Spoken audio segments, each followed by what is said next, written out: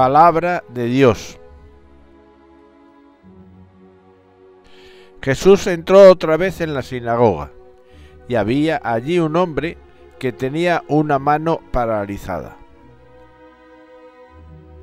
Lo estaban observando para ver si curaba en sábado y acusarlo.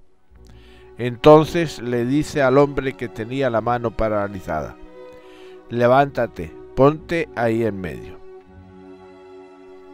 Y a ellos le pregunta, ¿qué está permitido en sábado? ¿Hacer lo bueno o lo malo? ¿Salvarle la vida a un hombre o dejarlo morir? Ellos callaban. Echando en torno una mirada de ira, y dolido por la dureza de su corazón, dice al hombre, extiende la mano.